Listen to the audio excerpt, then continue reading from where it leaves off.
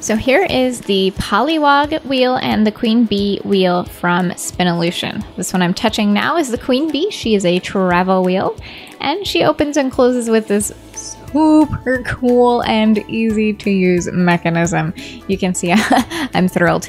So the size difference is actually fairly minimal as far as footprint goes.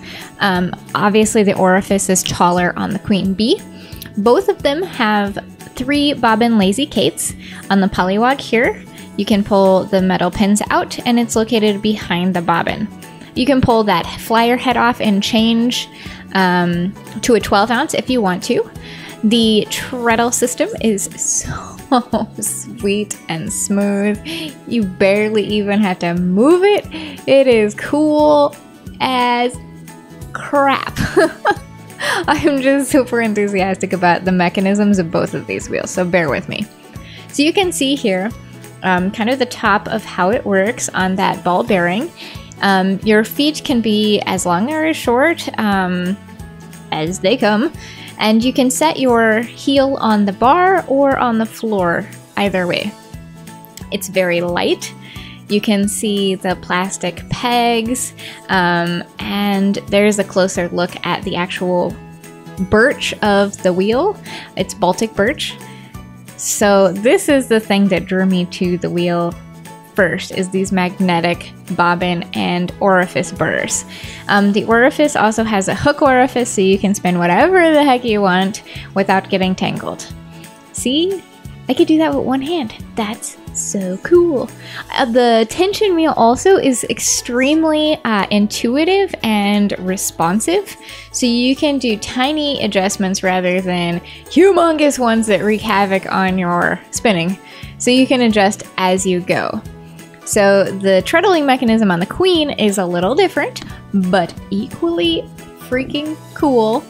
Um, there is the flip down footrest, so you can keep your feet off the floor if that's a problem for you. And you can see there's a lot of variation for foot length. I wear a size five and a half, so I'm tiny. And it's really intuitive to use.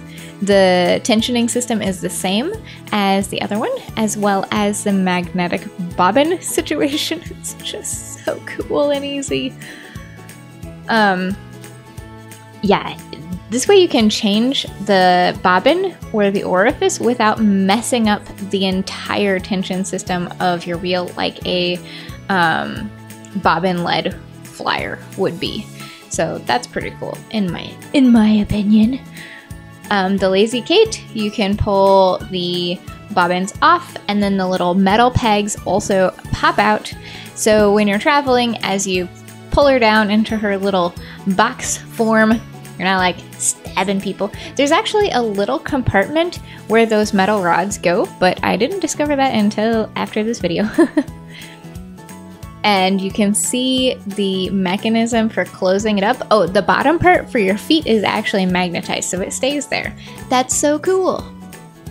And it's super easy to uh, pull it up and down, and it's super secure. It's actually, uh, you pull that knob out and it's got a tension.